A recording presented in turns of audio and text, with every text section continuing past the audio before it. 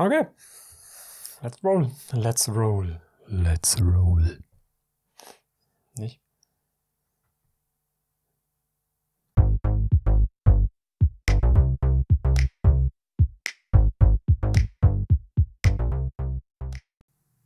Willkommen bei Easy Immunology. Ich bin die Alex. Und ich bin der Stefan und heute wollen wir uns ansehen, ob T- und B-Zellen vielleicht unterschiedlich auf Antigene reagieren.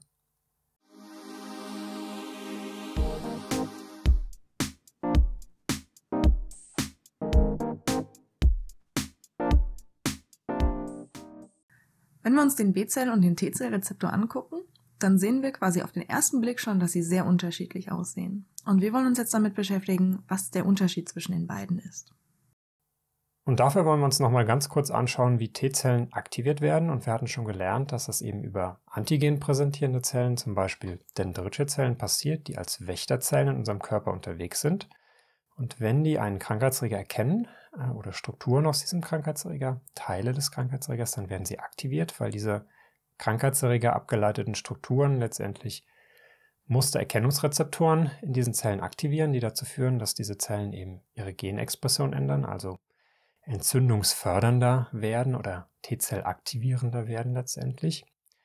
Gleichzeitig nehmen sie eben diese Strukturen oder Teile des Krankheitserregers auf in ihr Inneres, bauen es da zu Bruchstücken ab. Äh, bei Proteinen nennt man das Peptiden, diese Bruchstücke.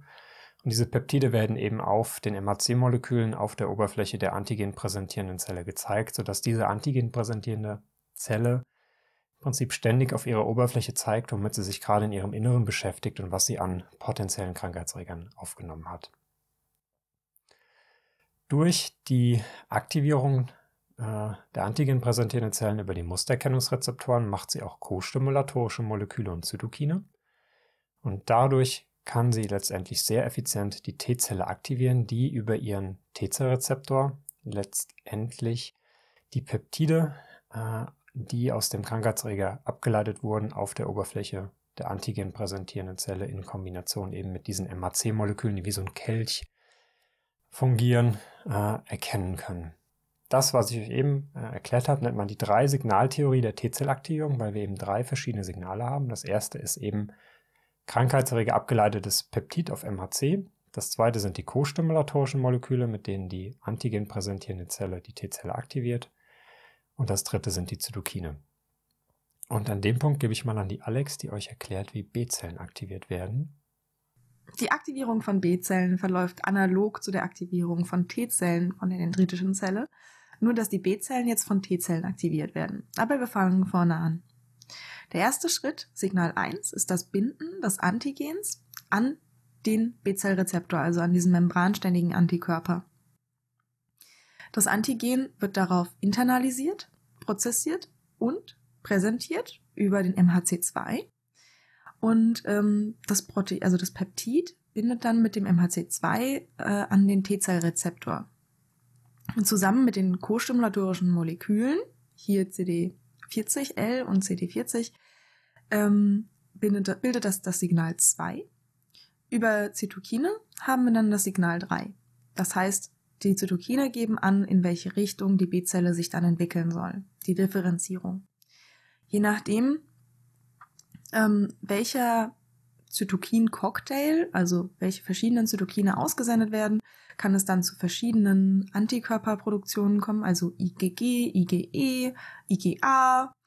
Ähm, das nennt sich dann Isotype-Switching. Wir haben die Differenzierung zu Plasmazellen zum Beispiel, die Antikörper überhaupt produzieren. Und wir haben eine ähm, ja, Proliferation, also eine Vervielfältigung derselben Zelle ähm, und sein Überlebenssignal. Jetzt ist dir eben äh, Internalisation, Prozessierung und Präsentation rausgerutscht. Kannst du noch mal erklären, was das heißt? Manchmal rutschen uns einfach diese Fachbegriffe raus. Es tut uns leid, wir versuchen das zu vermeiden. Das, das ist der Fluch der Arbeit. Ähm, wenn wir das Antigen an den B-Zellrezeptor haben, gebunden haben und das internalisiert wird, also in die Zelle aufgenommen wird, wird es danach prozessiert, also in kleine Fragmente zerlegt und danach präsentiert, also auf der Oberfläche gezeigt. Genau, das sind die drei Stimmwörter. Wenn wir jetzt mal zwischenzusammenfassen, haben wir eben gesehen, dass es da Unterschiede gibt in der Art der Antigenerkennung zwischen den T- und den B-Zellen. Die T-Zellen können nur Peptide erkennen, die ihnen eben auf MHC-Molekülen von den Antigen präsentierenden Zellen gezeigt werden.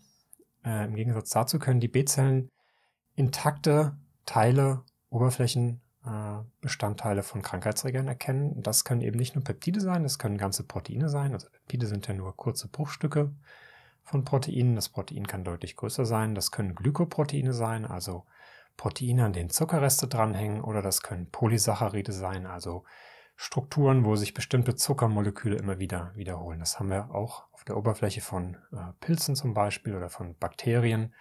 Kann man sich vorstellen wie so ein äh, Zuckerbonbon mit einer harten Schicht und einem weichen Kern. Und dadurch äh, können eben die B-Zellen direkt den Krankheitserreger angreifen. Es gibt noch einen weiteren wichtigen Unterschied in den Immunantworten, die von T- und B-Zellen ausgelöst werden. Wir hatten eben schon gesehen, dass eine T-Zelle eben von einer Antigen präsentierenden Zelle aktiviert werden muss. Und das schauen wir jetzt mal an am Beispiel dieses roten Bakteriums. Und wenn jetzt diese Antigen präsentierende Zelle dieses Bakterium aufnimmt, Bruchstücke daraus an die T-Zelle präsentiert und diese T-Zelle aktiviert wird, dann ist das zum Beispiel eine T-Helferzelle, deren Aufgabe es eben ist, ähm, Zytokine zu produzieren. Das sind Bodenstoffe des Immunsystems und die können dann andere Zellen des Immunsystems anlocken. Wir haben hier eine B-Zelle, eine Makrophage, eine Neutrophile und die können dann an den Ort der Infektion, also da, wo die Bakterien in unserem Körper tatsächlich gerade vorhanden sind, gelockt werden durch diese Zytokine. Dann werden sie aktiviert und können dann den Krankheitserreger bekämpfen. Das ist eine indirekte Bekämpfung der Krankheitserreger, weil die T-Zelle damit direkt nichts zu tun hat. Also die T-Zelle hat in den allermeisten Fällen keinen direkten Effekt auf den Krankheitserreger, sondern das macht sie indirekt eben über die Anlockung anderer Immunzellen, die sie dann auch aktiviert. Die T-Helferzelle hat keinen aktiven. T-Helferzelle, genau. Es gibt noch Part. andere, das schauen wir uns in einem der nächsten Videos mal mehr im Detail an. Also die T-Zelle ist hier mehr so der Supporter, der Unterstützer, der die anderen darauf aufmerksam macht, genau. Der Manager, der die anderen der darauf aufmerksam macht. Der Antreiber letztendlich, genau. Und bei den B-Zellen hatten wir auch schon gesehen, dass die von T-Zellen aktiviert werden. Aber dann wird eben aus dieser aktivierten B-Zelle eine antikörperproduzierende Plasmazelle. Und die kann jetzt direkt den Krankheitserreger bekämpfen, eben durch die Antikörper, die sie produziert. Und hatten wir auch schon in Videos davor gesehen, gibt es drei Hauptmechanismen. Das eine ist die Neutralisation, wo die Antikörper direkt an die Oberflächen von bestimmten Krankheitserregern binden. Das zweite ist die Komplementaktivierung, wo im Prinzip kleine Löcher in den Krankheitserreger eingebaut werden und ihn dann verbluten lassen. Und das dritte ist die äh, Opsonisierung, wo diese Antikörper eben als Adapter fungieren und anderen Zellen des Immunsystems erlauben, ganz genau eben diesen Krankheitserreger zu erkennen. Das heißt, hier hat die B-Zelle eben einen direkten Effekt auf den Krankheitserreger über die produzierten Antikörper. Und wenn wir die beiden letzten genannten Funktionen jetzt nochmal zusammenfassen, dann ist es so, dass der B-Zellrezeptor und der C-Zellrezeptor eine Signaltransduktion, also eine Weiterleitung des Signals, da ist ein Antigen, was zu mir passt, in die Zelle weiterleitet. Allerdings kann der B-Zellrezeptor als Antikörper auch die Pathogene, also die Krankheitserreger direkt bekämpfen, während die T-Zelle nur eine indirekte ja, ein Management anderer Immunzellen hervorruft, wenn es sich um eine T-Helferzelle handelt.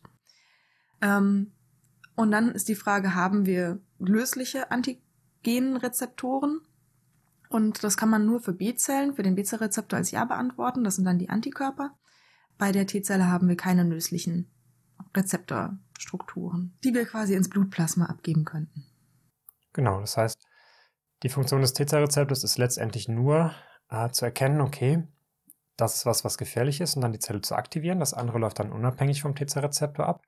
Und bei den B-Zellen wird eben der Rezeptor, der das Antigen erkannt hat, der den Krankheitserreger erkannt hat, eben in löslicher Form abgegeben und kann direkt dann auch diesen Krankheitserreger bekämpfen.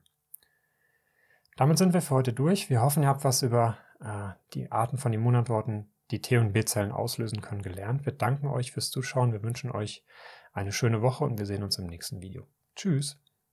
Tschüss.